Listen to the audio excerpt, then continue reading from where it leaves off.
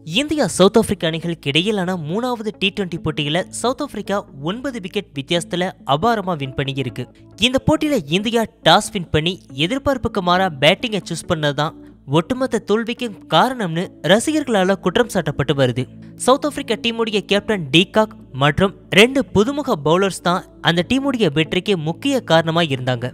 மூணு போட்டிகள் கொண்ட டி டுவெண்டி தொடரில் இந்தியா ஏற்கனவே ஒரு போட்டியில் வின் பண்ணி இருக்கு முதல் போட்டி மழையால தடப்பட்டுச்சு.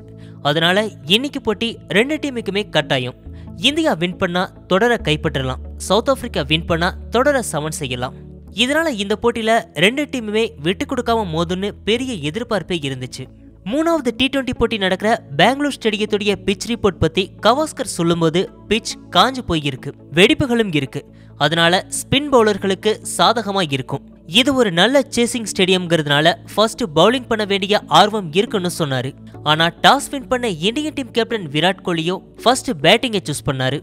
அப்போவே விராட் கோலி ஏன் சம்மந்தமே இல்லாம பேட்டிங்கை சூஸ் பண்ணாருன்னு பெரிய விமர்சனங்கள் எழுந்துச்சு.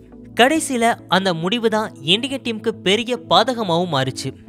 இந்தியன் டீமை பொறுத்த வரைக்கும் செகண்ட் டி டுவெண்ட்டி போட்டியில் களமிறங்கின அதே டீம் தான் இன்னைக்கும் களமிறங்குச்சு.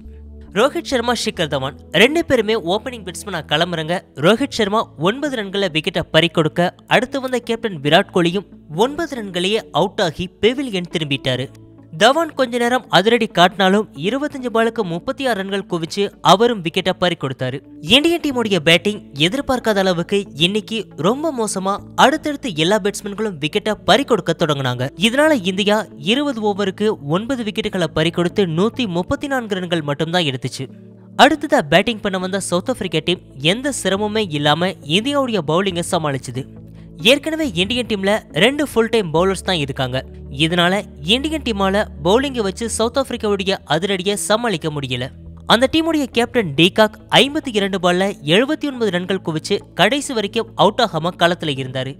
இவருடைய அதிரடி ஆட்டமும் அந்த டீமோட வெற்றிக்கு முக்கிய காரணமாக இருந்துச்சு.